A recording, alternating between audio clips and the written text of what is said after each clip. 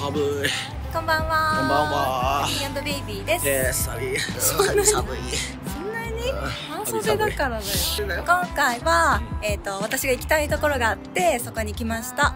あの、なんかね、昨日全然眠れなくって、で、眠れないから、なんかインスタとかですごい美味しいご飯屋さんを探してたんですよね。うんで、それで見つけた一つのお店がお寿司屋さんだったんですけど、まだできたばっかり、まあ、1年ぐらい前にできたばっかりであんまり知ってる人もいないんですけど結構、まあ、地元の人にはねなんか有名っぽくてそこになので 実際に行ってみたくて今回はそこに来ました。っていう感じで。まあベイビーが行きたいところだから おいし美味しいところなんだけどね。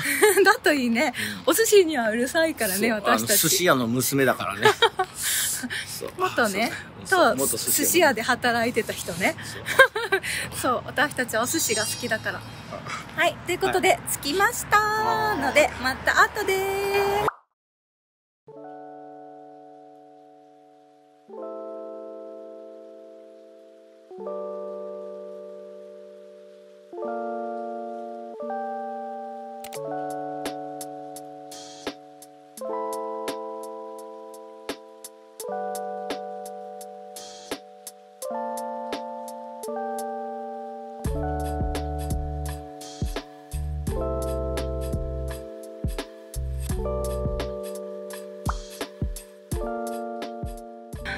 お寿司を食べて生きてきたから。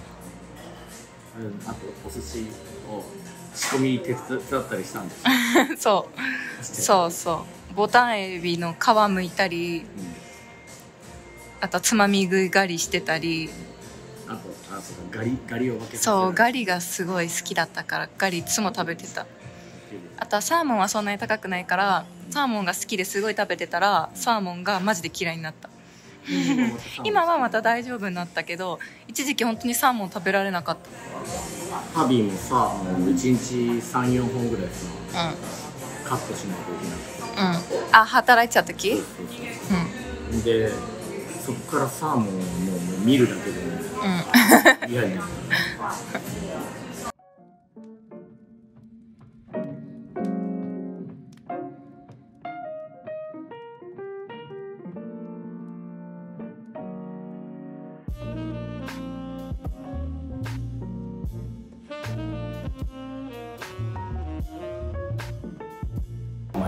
やっぱりハマチからかしら。あれお醤油つけないの？本当、お醤油つけてなかった今。今。あ 醤油つけて。あそうなんだ。あでもこれそうだよね。江戸前みたいな感じでなんかあのついてるもんね。ついてるの。味がね、お醤油塗ってあるもんね。えー、普通に忘れてたよ。うん。ウケる美味しい、うん、美味しい。すごいね。あのなんだっけ？